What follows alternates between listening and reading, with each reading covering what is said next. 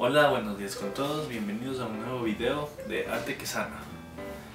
El día de hoy comentaremos la novela de Albert Espinosa, Si tú me dices ven, lo dejo todo, pero dime ven. Eh, la novela trata sobre un señor llamado Danny, que es un investigador que se dedica a encontrar niños desaparecidos. En un momento determinado de la historia, él atraviesa problemas con su pareja y su esposa decide dejarlo. En ese mismo instante, él recibe una llamada de un señor cuyo hijo estaba perdido y quería que Dani lo encuentre desesperadamente.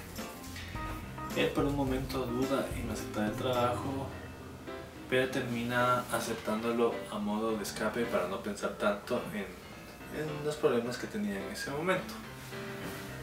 Así que emprende un viaje a la isla de Capri.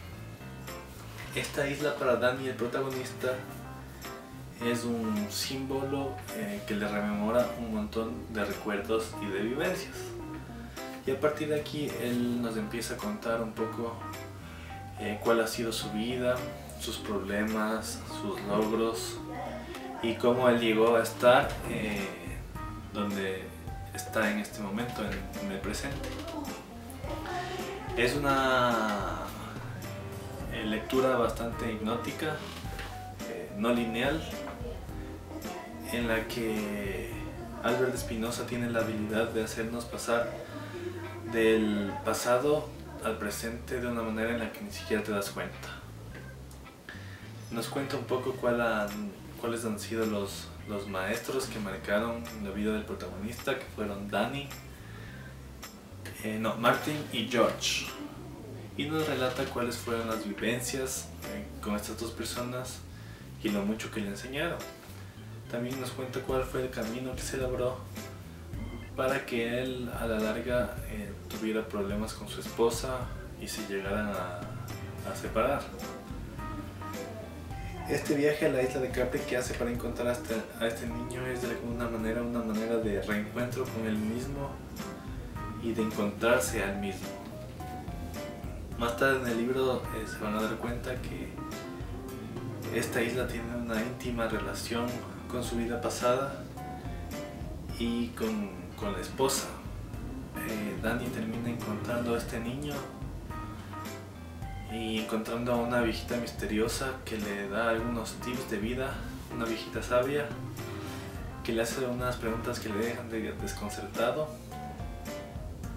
y que lo llevan a reflexionar sobre su presente y sobre la vida que estaba llevando. Se puede decir que en este viaje Dani de alguna manera se reencontró, eh, reencontró sus principios, eh, su manera de pensar y y lo lleva a tomar una decisión decisiva en su vida que no les puedo contar porque si no les arruino el libro. Como les dije, eh, es un libro realmente hipnótico, eh, bastante digerible, corto, con un lenguaje súper simple, muy fácil de leer y que realmente te atrapa. Es una literatura un poco light, pero eso no quiere decir eh, que sea despreciable ni mucho menos. Si quieren leer un libro que, que les atrape, que les entretenga, que al final de cada capítulo no puedan dejarlo de, leer y quieran seguir leyendo el siguiente y el siguiente capítulo, este es un libro que va a cumplir con sus expectativas. Realmente me gustó mucho. Eh, le pongo 3.8 de calificación y realmente muy recomendado. Es el primer libro que leo de Albert Espinosa. Eh, realmente estaba chequeando los otros libros que tiene, se ven bastante interesantes. Eh, espero, espero poder tener la oportunidad de leer algún otro libro de él. Me gustó mucho su escritura y su estilo. Se lo recomiendo. Eso es todo por el video de hoy. Eh, lean el libro, se lo recomiendo. lo van a encontrar físico si hay, o en App Store me parece que está 5 dólares. Además es un libro económico. Eh, muy recomendado.